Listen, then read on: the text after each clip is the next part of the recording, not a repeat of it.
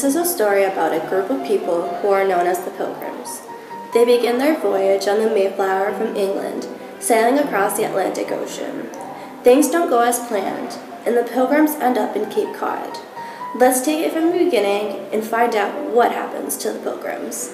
In the 1500s, England broke away from the Roman Catholic Church and created the Church of England, which everyone had to belong to.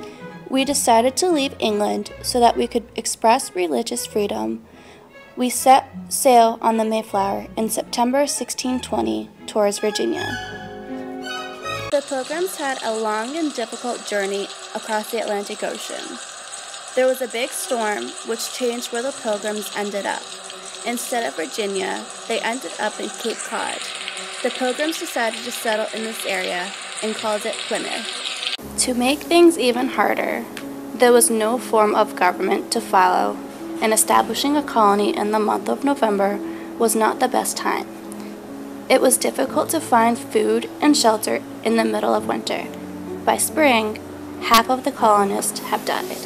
When spring came, the Pilgrims came to an agreement to write their own plan of government. They also set out to plant crops and build their colony. They were taught how to plant crops and trap animals by the Samoset and Squanto. After all their hard work, by the fall, the colony was saved. The Pilgrims celebrated their success by celebrating the first Thanksgiving, which became a tradition to this day.